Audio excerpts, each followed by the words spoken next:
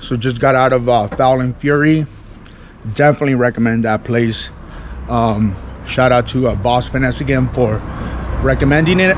And yeah, I want to talk about um, a PT, my PTSD because I just had another PTSD incident right now where um and this is what I'm saying like you PTSD it, it haunts you for life there's no medication you could take you just have to be aware of the situation and you know try to nip it in the bud and but some sometimes like like what happened today uh, you won't even be able to do anything about it.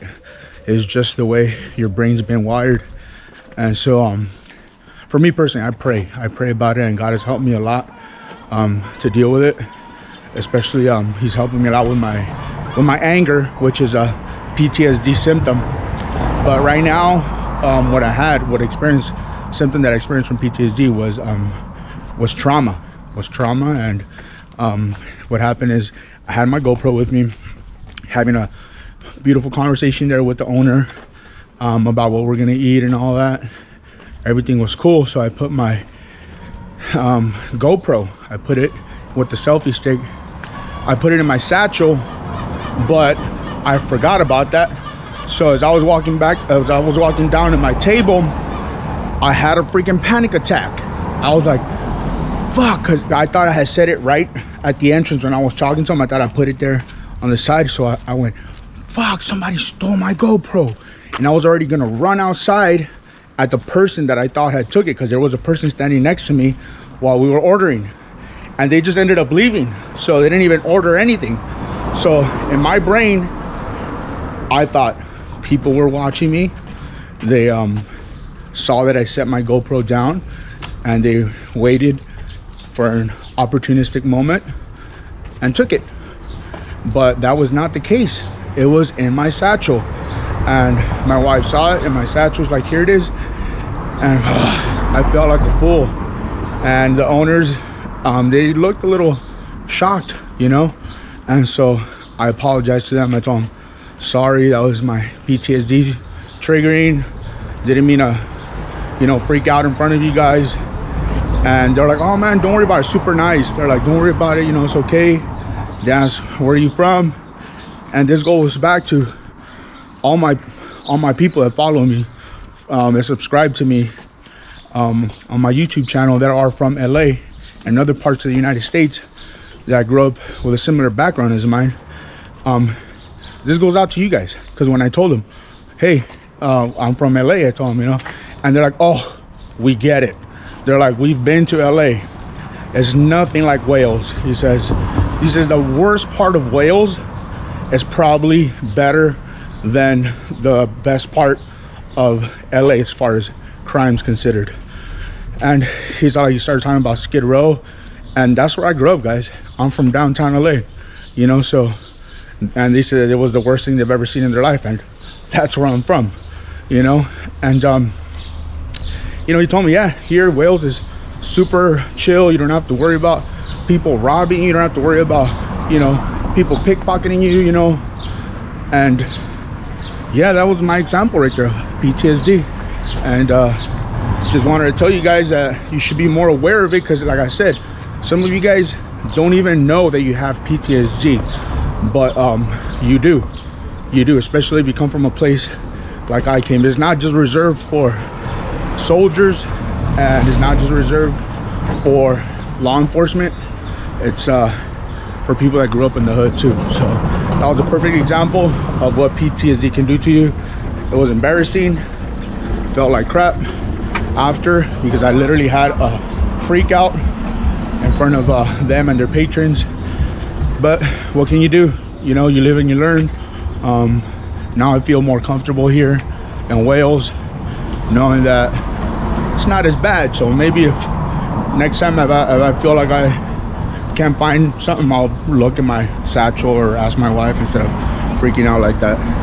And that's just exactly how you do it. I'm trying to teach you guys how to cope with your PTSD. There you go. So let me flip it around so you guys can get to see this beautiful Cardiff neighborhood right here.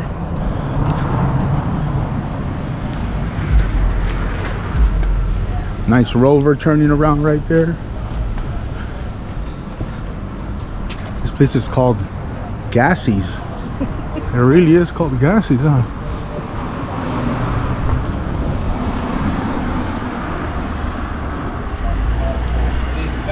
It's a hot little corner right here.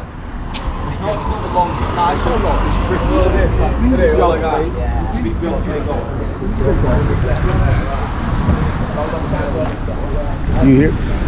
I don't even know if we can cross here, but and you hear the um, the Welsh English. I don't know if you guys heard it, but it's very easy to understand. It's not like the Scots or the Irish. And honestly, some of the English neighborhoods have very thick accents too.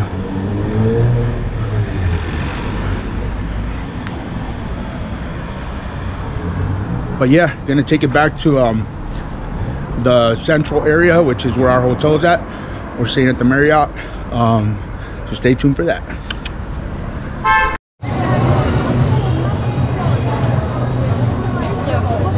Check this out too, guys.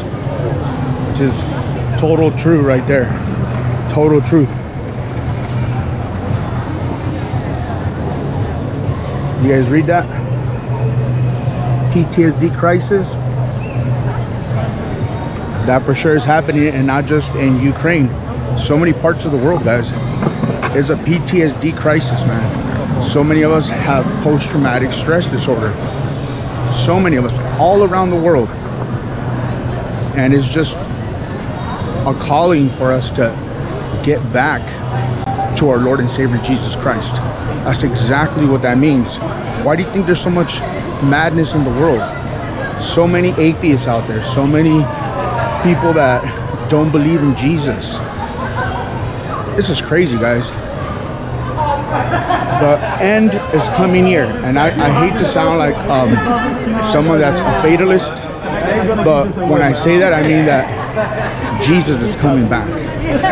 It's time for you guys to get right with Jesus. It's time for you guys to get back to the values that we had way back in the days. I'm talking about way back because right now the world is going in the wrong direction and we all need to focus our time, focus our energy, worshiping, glorifying our Lord and Savior Jesus Christ. And it starts with a look. Acknowledge Him. Acknowledge it. The way I like to describe it is like someone that's lifting a heavy weight at the gym, right? Here's a skinny guy just started going to the gym, just started lifting. He sees a bench with three plates on each side. He's gonna think, oh, that's impossible. Can't do that. Meanwhile, here comes another dude, starts repping 315, 315 pounds. That's the three plates on each side. Like nothing. That man has developed his strength. He's developed it over over uh, the years with uh, lots of training. You know, it doesn't just happen from one day to the next. The same thing is with your spirituality. the exact same thing. It doesn't just happen from one day to the next, but it does start with a look. So if I could give you guys any type of advice, it's just that. Starts with a look. Look to our Lord and Savior Jesus Christ. Start a conversation with him. At first, you may not even feel anything if you're new to this. You may not feel anything. But the fact that you reached out to him is uh, a step in the right direction. And just keep doing it. Just keep reaching out to him. And then you're gonna start feeling his presence. You're gonna start feeling the Holy Spirit move you in one way or one way or the other. And once you start listening to the Spirit, the Holy Spirit, that's when your life begins to change for the better. Trust me, I'm living proof, baby. Let's go.